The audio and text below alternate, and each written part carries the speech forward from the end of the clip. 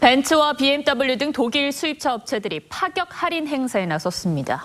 천만 원이 넘게 할인을 해주다 보니 국산차와 가격 차이가 거의 없어져서 국산차 점유율이 쑥쑥 빠지고 있습니다. 박상현 기자입니다.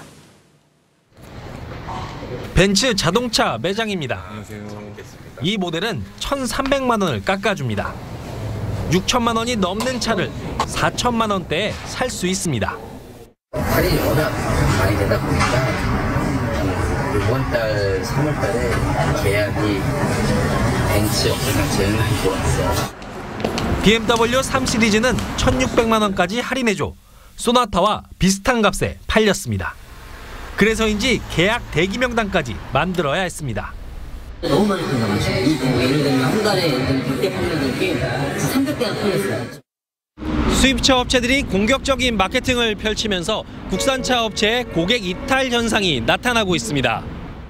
지난달 국산차 판매는 1년 전보다 적게는 5%, 많게는 48%까지 줄었지만 수입차는 23%더 팔렸습니다. 그 정도 가격 차이면 차라리 수입차로 넘어와서 이게 뭐 성능이나 이런 거에 이제 이미 다 알려진 바대로 이제 다 인정받는 그런 차를 넘어가는 게 뭐 소비자 입장에서는 그게 낫다고 생각했습니다. 할인 차종이 더 늘면 상황은 더 심각해집니다. 국산차는 어, 어떤 영역이 굉장히 어려워지는 이런 부분들이 상당히 그냥 반복된다는 거 그런 측면에서 올해가 가장 국산차가 어둡고 국산차 업체는 지난 6개월 동안에만 시장 3.2%를 잃었습니다. TV조선 박상현입니다.